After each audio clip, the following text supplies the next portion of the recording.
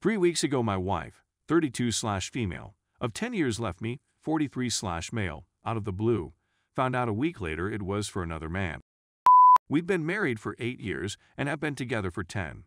Eight years ago, approximately five months after our wedding, my wife left me for another guy. We were separated for five months but never divorced. She then returned, begging for a second chance, which I granted her. The past eight years have been much superior than the prior two. We had a stronger connection than ever before. For eight years, we never fought, never argued, and only on rare occasions, maybe five times in eight years, did we raise our voices at one another. She was the perfect little wife. She loved to cook slashed bacon, spoil me. All my friends were envious of how much my wife does for me. And I made it perfectly clear to her every single day how much I appreciate everything she does for me, how much I love her, and we would bask in how much better our relationship appeared to be than everyone else's. I enrolled in nursing school six months ago. The institution is 150 miles distant. I'd still be home 3-4 evenings a week, but I'd be at school for a significant portion of every week for the next two years. I didn't make this choice without her. We spoke about it a lot, and she was quite supportive, and we were both pleased about the salary I'd be receiving after I graduated. We could finally buy a great home and take good holidays every year, rather than just every few years. We both gained a lot of weight over the previous decade. We both let ourselves go. Food was a huge comfort in our lives, and she liked to cook and make goodies for us. She's a professional baker. We tried and failed thousands of times to lose weight, invariably reverting to our old habits after a few months.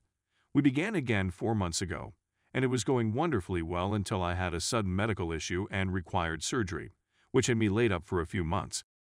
She ended up reducing 75 pounds, needing to shed 90 to reach her desired weight, and looked fantastic. I think that's when the male clients at work began paying attention to me. I had one more surgery scheduled for July 21st, it was just to finish up the first one. The recovery and pain were supposed to be nothing like before, and they weren't. I feel great now about the surgery area.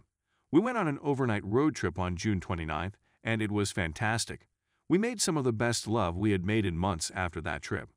Everything seemed to be wonderful. However, the strangeness began on July 4th. I noticed she became aloof, didn't respond to texts nearly as often as she used to, didn't kiss me as forcefully as she used to, and would simply sort of lay her arms on me in bed or when we hugged instead of the strong squeezes I was used to. I was in constant agony, but she was great the whole time. I reverted to my old eating habits for consolation, but she kept the course, or so I believed, and continued to lose weight. I was extremely proud of her, and even though she had a lot of drooping and loose skin, I couldn't have cared less. I love this lady with all of my heart and soul. It didn't matter whether she weighed 120 pounds or 400 pounds her brains and heart were all that mattered to me. When a spouse begins to lose weight and you don't, you always have a tinge of fear in the back of your mind of what could happen. But I never let that get to me because she had made that mistake eight years ago and truly regretted it. So I assumed she had learned her lesson and it would never be an issue again. Oh, how I was mistaken. I inquired if everything was okay and noted the changes I'd observed, and she assured me that everything was good, that work had just been particularly stressful recently, and it was getting to her, which is true, her job has been crazy lately, and that she'd try to get back into our old rhythm. Nothing changed. If anything, the texts became less frequent, the kisses became less frequent, and she began sleeping on the other side of the bed instead of cuddled up next to me like she normally did. Something was clearly incorrect. I decided to be the best husband I could be, so I started doing all the choirs so she wouldn't have to. I did all the cooking or got takeout, so she wouldn't be stressed when she got home from work and I went out and picked a huge bouquet of wild flowers, the same ones I picked for her on our honeymoon. I penned page-long love letters from the bottom of my heart, no fake romantic BS. All of this went unnoticed since I had slipped away after she had fallen asleep to perform the flower-slash-note stuff. I expected she'd return to the bedroom and wake me up when she got up for work. She didn't. In fact, she didn't even text me about them. Finally, I texted her to see how her job was doing anticipating she'd tell me how much she appreciated the flowers and card. Nothing. When I eventually inquired whether she'd seen them read the letter, she answered, Yeah, that was kind of you. I knew something was wrong now, but when something like this happens, you truly want to remain in denial. The next night, I asked for her phone to transfer some photos to it, and I noticed her deleting a bunch of text messages before handing it to me. I wouldn't have even checked her text, and she also began spending way more time on her phone than she had previously. Alarm bells were going off all over the place.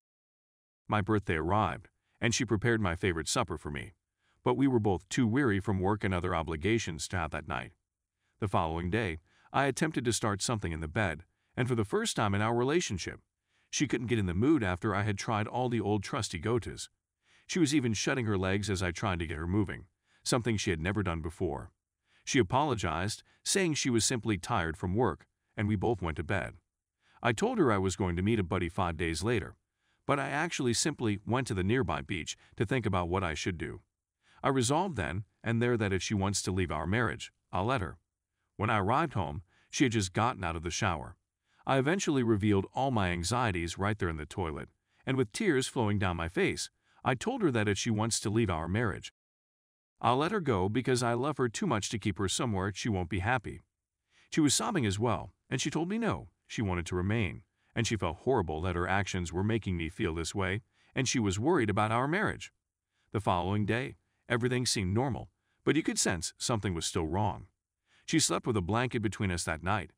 The following morning, I sent her some lovey-dovey text messages, but she never responded. I visited Facebook Messenger a few times, and she was continually active there, implying that she was ignoring my text. I contacted her at work to check how her day was going and such, and when I questioned why she seemed to be ignoring me, she responded she was just busy. My operation was the next day, and we were meant to depart that evening for a pleasant date night and a surprise for her along the way. I simply figured things would get better after that and moved on. About an hour later, I got a massive text from her saying she's sorry, but she just wants out of our marriage. She claimed she's been unhappy for a long time and just wants out, but after some back and forth, she changed her mind and said she just needs time to reflect. I panicked and hurried to my brother's home, where I would be staying for school and where we had intended to be that night anyhow, since my operation was in the same town. I told her I'd be there and that if she wanted to chat or see me, even at 3 a.m., I'd drive straight down. I just didn't want to be alone, so I went to stay with relatives, and I needed to be up there anyhow for surgery. I begged her numerous times to come up because I wanted to see her face when I woke up from surgery, but she never responded. She stopped returning my phone calls and began ghosting me. The procedure came and went, and she never once inquired how I felt about it. I tried talking to her numerous times, but she would not respond to any text messages, and when she did speak to me on the phone, only when I called her at work, she would just say she was sorry and needed time to think. Received a text from her mother asking me some general things, which struck me as odd. I don't believe she'd speak to me about this stuff as she understood what we were going through. I imagined my wife had been staying at her house since she refused to stay at ours. I asked my wife where she was staying since I believed it was with her parents, and she said it was with her friend Faith. The following day, I used Locate My iPhone to figure out where she was. She was in a home I'd never seen before, miles away from where she'd stated she'd be staying. I confronted her about it through text, and she told me that she was at Faith's, and that the GPS was probably messed up due to the poor phone reception there. When I knew she was leaving work the following day, I opened the app and saw her drive directly to this weird residence. When she parked into the driveway, I called her, but she didn't respond. I immediately sent her a snapshot of her location and informed her that if she wasn't being honest with me right now, I was going to drive over to her house and pound on the door. The truth was ultimately revealed. She has been seeing another man for almost a month and now lives with him. They're madly in love, and she's leaving me for him. He's only here for a short time for work, so when he returns to the other side of the nation, she wants to go with him. She rejected down a large promotion at work that she'd been working her tail off for two years to acquire, and she turned it down two days before it was set to go through. She's leaving her family, friends, profession, and everything else for this new man.